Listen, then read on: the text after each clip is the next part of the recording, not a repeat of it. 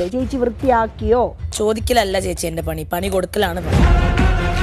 കഴുത്തിന് വീട്ടിന് നാക്കില്ലാത്തോണ്ടാണ് മിണ്ടാതിരിക്കുന്നത്. ഇവിടെ എങ്ങനെ ക്യാപ്റ്റനായി? കിച്ചൺ ഡ്യൂട്ടിയിൽ പെർഫെക്റ്റ് ആയിരുന്നു എന്ന് പറഞ്ഞിട്ടല്ലേ ക്യാപ്റ്റൻസിക്ക് എല്ലാരും നോമിനേറ്റ് ചെയ്തത്?